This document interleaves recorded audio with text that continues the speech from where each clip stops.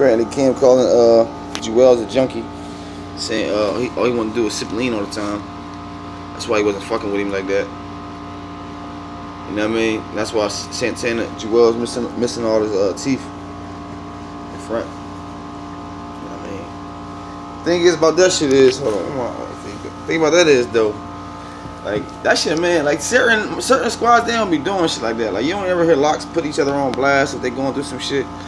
Niggas ain't doing that though. It be seem like Cam just be like, everything is for the media. That shit, man. It's like you put it out there that you sold his contract. with two, Yeah, you don't give a fuck. You put it out there that you sold his contract for two million.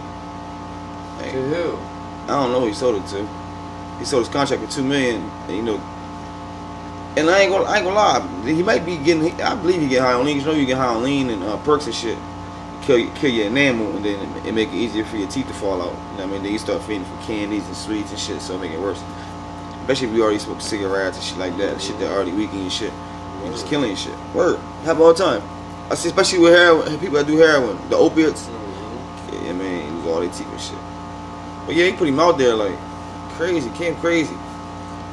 You know, he was saying, you know, ain't no such thing as Cam not being a dipset because he the president. He made it. You know what I mean? Which makes sense. Like, but he says like a last name, you can't get out of it. So everybody's still dipset. Hell Rell, I guess everybody's still dipset.